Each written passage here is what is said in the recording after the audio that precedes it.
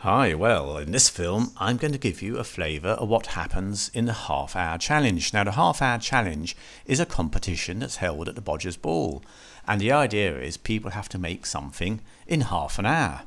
And it's great fun because you get a real variety of things being made, and also you get people having to work really fast, and it's great to see what they can do. And here, this guy, he's an expert bowl turner and is producing an absolutely beautiful wooden bowl. And just seeing how people work under pressure, having to do things quickly, it's, well, it's great. here we have a trug maker, and I've put up a film on making a trug. And this chap is absolutely brilliant at making trugs. You'll see him work so quickly, and he was putting in the boards and just seeing how many he could do. So we had the frames made up, but he was working like a Trojan. He had been working all weekend, frankly, like a Trojan, but he was doing an absolutely sterling job. And here we've got a another bowl turner. So bowls are becoming quite popular.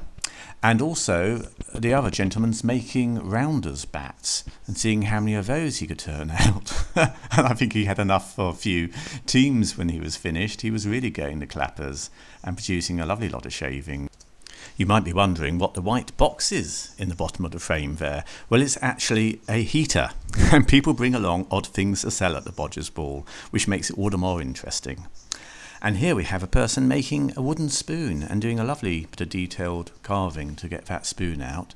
So again, just hacking it out of a log and coming up with a lovely usable object all in half an hour. And it's great fun being at a table where people have to present the items, say race in with them. We've got a lovely dragonfly that I missed being made. That was made in double quick time. But you see the other items flying in. Here the trugs. Look at all those. It's staggering and I just enjoy seeing the stuff. And there are rounders bats. So how do you judge the winner there? It's pretty well impossible, I would say.